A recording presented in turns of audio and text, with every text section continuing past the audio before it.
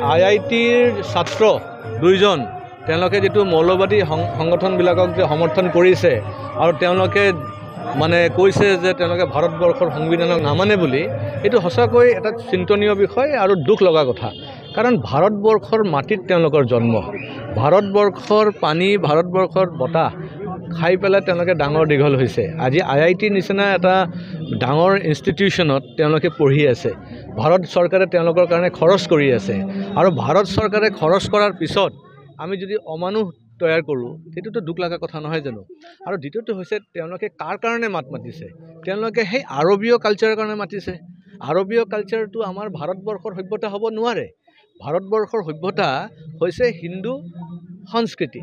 আমি হিন্দু সংস্কৃতি বুলি এইকাৰণে কৈছোঁ যে ছুপ্ৰিম কোৰ্টেও কৈছে যে Hindu is not a religion it is a culture it is a way of life সেইকাৰণে আপুনি ইছলাম ধৰ্মত বিশ্বাস কৰে আপুনি খ্ৰীষ্টান হ'ব পাৰে আপুনি বেলেগ বেলেগ ধৰ্মৰ হ'ব পাৰে কিন্তু আপোনাৰ সভ্যতা হৈছে হিন্দু।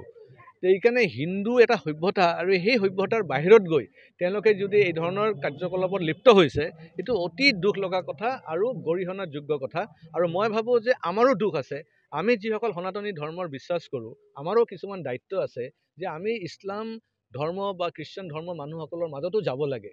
তেওঁলোকৰ লগত বাৰ্তালাপ কৰিব লাগে তেওঁলোকক বুজাব লাগে যে ঠিক আছে আপুনি হয়তো কিবা কাৰণত পশ্চিমৰ পিনে আপুনি ভগৱান বিচাৰি আছে। পশ্চিমত কিমানখিনি ভগৱান আছে আমি নাজানো।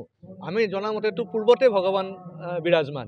আজি ভাৰতবৰ্ষ কাশ্মীৰৰ পৰা কন্যা কন্যাকুমাৰী আপোনাৰ একদম গুজৰাটৰ পৰা একদম অৰুণাচল প্ৰদেশ একদম নৰ্থ ইষ্ট তাতে যদি চায় আমাৰ গোটেই আহ, সাধু সন্তসকল তেওঁলোকেতো হিমালয় পৰ্বততে তেওঁলোকে মানে তেওঁলোকৰ স্পিৰিচুৱেলিটিটো জ্ঞান কৰিছিলে। আজি গোটেই বিশ্বৰ মানুহসকলে ভাৰতবৰ্ষৰ পিনে চাই আছে কিয়? স্পিৰিচুৱেলিটিৰ কাৰণে। স্পিৰিচুৱেলিটিৰ কাৰণে গোটেই বিশ্ব আমাৰ পিনে চাই আছে। আজি ইস্কন যেনেকৈ মন্দিৰ বা ইস্কনৰ যে প্ৰ- প্ৰতিষ্ঠা যোনে কৰিছে তেখেতে যিটো সঁহাৰি পাইছে গোটেই বিশ্বত সেইটোতো অতুলনীয়। তাৰ মূল কাৰণটো কি আছিলে? মূল কাৰণটো আছিলে যে আমাৰ কালচাৰ আমাৰ হিন্দুৰ যিটো ফিলচফি আমাৰ হিন্দুৰ যিটো সভ্যতা সেইকাৰণে এই সভ্যতাৰ পৰা এই মাটিৰ সন্তান আঁতৰি গৈ আছে আৰু তেওঁলোকে জিহাদীৰ পথ বাছি লৈছে সেইটো কিন্তু আমাৰো কিন্তু চিন্তাৰ বিষয় কিয় যে আমিও কিবা কৰিব লাগিব। যিসকল হিন্দু সংগঠন সনাতনী ধৰ্মৰ বিশ্বাস কৰা মানুহসকলেও তেওঁলোকে চিন্তা কৰিব লাগিব যে আমি আমাৰ এই ল'ৰা ছোৱালীসকল যিসকল জিহাদীৰ পথ ল'ব বিচাৰিছে তেওঁলোকক আমি কেনেকৈ ভালকৈ বুজাই মেলি আকৌ আমাৰ মেইন ষ্ট্ৰীমত আনি পেলাই তেওঁলোকৰ ভাৰতবৰ্ষৰ শক্তিশালী কৰাৰ কাৰণে কামত লগাব লাগিব তাৰ ব্যৱস্থা কৰিব লাগিব। আৰু তাৰ কাৰণে কেতিয়াবা যদি যোগী হ'ব লাগে তো যোগী হ'ব লাগিব কেতিয়াবা মোদী হ'ব লাগে তো মোদী হ'ব লাগিব।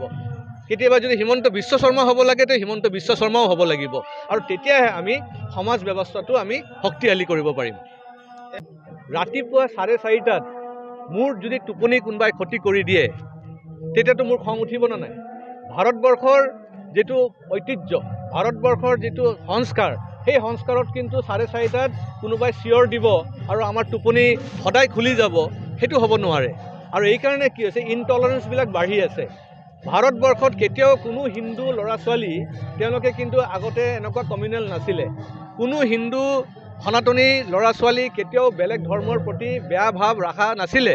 কিন্তু আজি এই সংখ্যাটো যদি বাঢ়ি গৈ আছে তাৰ মূল কাৰণ হৈছে যে এই ইছলাম ধৰ্মৰ মানুহসকলে হওক বা বেলেগ ধৰ্মৰ যিসকল মানুহ আছে তেওঁলোকৰ যিটো intolerance towards the Indian culture তেওঁলোকৰ যিটো অসভ্যতামী সেইটোৰ কাৰণে কিন্তু আজি আমাৰ ভাৰতবৰ্ষৰ ল'ৰা ছোৱালী মানে হিন্দু ল'ৰা ছোৱালীসকল মানে ইনটলাৰেঞ্চটো বাঢ়ি আছে আৰু এইটো সমাজৰ কাৰণে ক্ষতিকাৰক।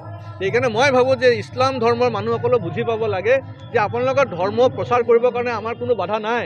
কাৰণ ভাৰতবৰ্ষ একমাত্ৰ ৰাষ্ট্ৰ য'ত প্ৰত্যেকটা ধৰ্মৰ মানুহ ইয়াতে মানে ভালকৈ বাস কৰিব পাৰে তেওঁলোকৰ নিজৰ পদ্ধতিবিলাক পালন কৰিব পাৰে। য'ত আপুনি পাকিস্তান আফগানিস্তান বা মুছলিম ৰাষ্ট্ৰবিলাকত গ'লে তাতে আপুনি চাব মছজিদত বাম ব্লাষ্ট হয়। এজন মুছলমান বোলে বেলেগ মুছলমানক বোলে তেওঁলোকে আক্ৰমণ কৰে কিন্তু এই বস্তু আপুনি ভাৰতবৰ্ষত নাপাব। আৰু ভাৰতবৰ্ষত যদি বাঢ়ি আছে বা বাঢ়ি যাব তাৰ মূল কাৰণ হ'ব কিন্তু তেওঁলোক। সেইকাৰণে মই ভাবোঁ এই মাটিৰ সন্তান এই মাটিৰ পৰা জন্ম এই বায়ু এই পানী খাই পেলাই তেওঁলোকে ডাঙৰ দীঘল হৈছে।